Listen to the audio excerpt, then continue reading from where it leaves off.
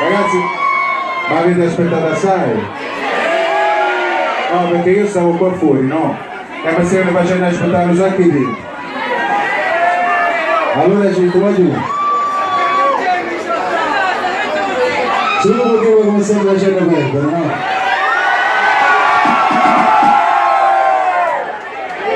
Bravi.